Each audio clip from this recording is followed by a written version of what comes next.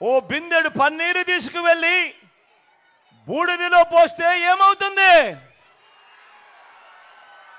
ఏమవుతుంది?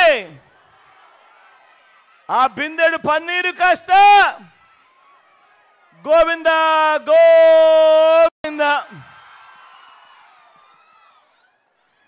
ఈరోజు మనం మాట్లాడుకోబోయే విషయం కూడా ఆ గోవింద గోవింద.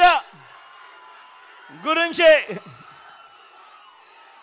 ఇది తిరుపతిలో ఏడు కొండలపై ఉన్న స్వామికి చెప్పే గోవింద నామం కాదు.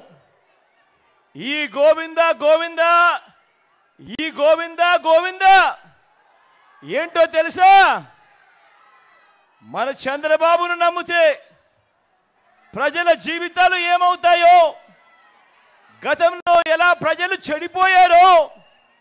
ఆయన మోసానికి ప్రజల బ్రతుకులు ఎలా అతలాకుతలమయ్యాయో చెప్పే గోవిందా గోవిందా.